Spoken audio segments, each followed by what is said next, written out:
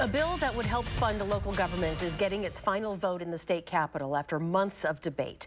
Political reporter Will Kenneally is live at the Capitol with the latest. Charlotte, this is the kind of funding that we've heard from mayors literally helps them keep the lights on. So it's a really big move that we've seen the final passage of this here tonight. And within the last few minutes, the state Senate has signed off on the proposal. Some area Democrats join Republicans in supporting the motion, including Melissa Agard from Madison and Mark Spreitzer from Beloit. Now, Assembly Speaker Robin Vos says what the legislature will ultimately approve tonight reflects those months-long negotiations between Republican lawmakers and the governor.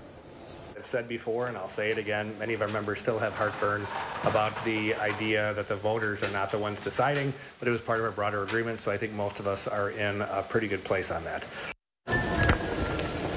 We heard from Speaker Vos there earlier today that the local funding bill is now working its way through the state assembly. Now, in a matter of days, it will head to the governor's desk. And we caught up with Governor Evers during a stop in Monroe earlier today.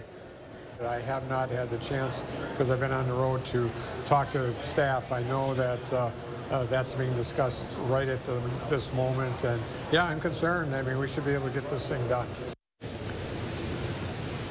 Now, there are a lot of moving pieces to this bill, for example, requiring Milwaukee to put certain amount of money towards law enforcement and also raise a local sales tax. But across the board, we're expecting to see roughly 20% more state funding go to these municipalities like Madison here. Now, we don't know exactly how much Madison will get. This is all happening, obviously, within the last few hours here at the state capitol, and we're still waiting for legislative lawyers to kind of parse some of that lingo and actually give us a final number. We should expect to see that in the next coming days here. Reporting from the Capitol, Will Kenneally, News 3 Now.